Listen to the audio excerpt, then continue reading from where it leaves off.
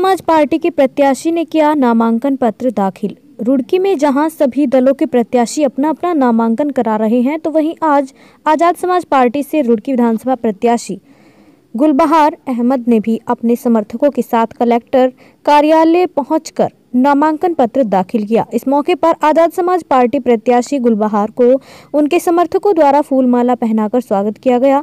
आपको बता दें कि आज़ाद समाज पार्टी से प्रत्याशी गुलबहार अहमद रुड़की विधानसभा से बड़े दमखम के साथ इस बार चुनाव लड़ रहे हैं। आज़ाद समाज पार्टी प्रत्याशी गुल बहार अहमद ने कहा कि समाज का समर्थन हमारे साथ है।